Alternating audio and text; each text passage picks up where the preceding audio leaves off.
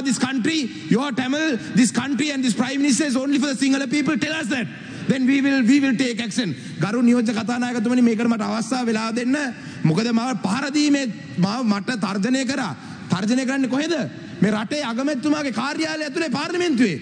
මේකට සාක් අශෝක ප්‍රියන්ත රාජ්‍ය ඇමතුමා නැත්තම් මේ රෝහිත අබේගුණවර්ධන කියන මන්ත්‍රීවරයා මට පහර දෙනවා. මේකට අගමැත්තුමාගේ කාර්යාලයේ ඉන්න නිලධාරීන් සාක්ෂි අශෝක ප්‍රියන්ත මන්ත්‍රීවරයා සාක්ෂි ජගත් ප්‍රියංකර මන්ත්‍රීවරයා සාක්ෂි. මට කිව්වා. මට කිව්වේ ඔබතුමා ඔබතුමා ආණ්ඩුවට විරුද්ධව කතා කරලා ඔබතුමා කොහොමද අගමැත්තුමා හම්බෙන්නේ මේ අපේ අගමැත්තුමා. මං කෝ මේ රටේ අගමැතිතුමා. එතකොට මෙහෙම මෙතුමා කෝ මොකද්ද තමුසේ කියන්නේ? මගේ මූණ ඉස්සරහට ආවා. පහර අපිත් පහර දීලා තියෙනවා. අපිටත් පුළුවන් තණ්ඩි පාට දාන්න.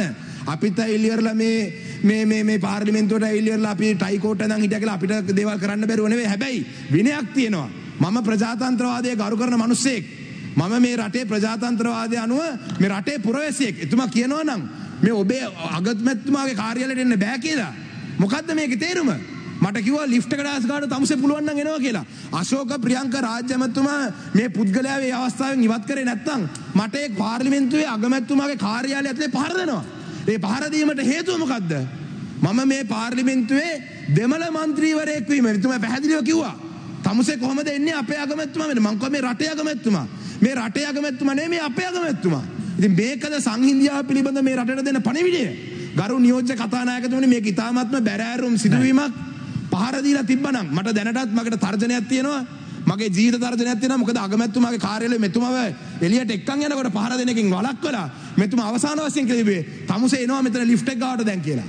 එතකොට මේ පාර්ලිමේන්තුවේ මම එළියට යනකොට හරි එනකොට හරි මට මොන හරි හීරිල්ලක් හරි හුදුනොත් මේ රෝහිත අබේගුණවර්ධන කියන පුද්ගලයා තමයි මේකට වක් කියන්න ඕනේ. ඒක නිසා කරු නියෝජක කතාන මේක පාර්ලිමේන්තු වරප්‍රසාද කමිටුවට වහාම යොමු කරන්න ඕනේ. මේක අදම කතානායකතුමාට කියනනේ මට ගරු කරුණා කරලා මේ පහර දීම පිළිබඳව වහාම නැත්තම් මම පොලිසිය තමයි පැමිණිල්ලක් දාන්න වෙන්නේ. මොකද මේ පාර්ලිමේන්තු වරප්‍රසාදව කඩවීමක් වගේ පමණක් නේ. මට ජීවිත තර්ජනයක්. මොකද්ද මම කරලා තියෙන වරද? මේ පාර්ලිමේන්තුව තුල මට වරප්‍රසාද අනුව මට මගේ භාෂණයේ අයිතිය භාවිතා කිරීම තමයි මට තර්ජනය කිරීම සහ පහර දීමට මෙතුමා තැත්- මෙතුමා කියපු කාරණේ. ඒක නිසා කරුණේ හොඳයි, කරුණා තාමත් බැරෑරුම් දෙයක් නියෝජක කතානායකතුමා. මේ රට තුළ පහුගිය කාලේ දෙමළ මන්ත්‍රීවරුන්ට පහර දීලා තියෙනවා නැවත වාරයක්.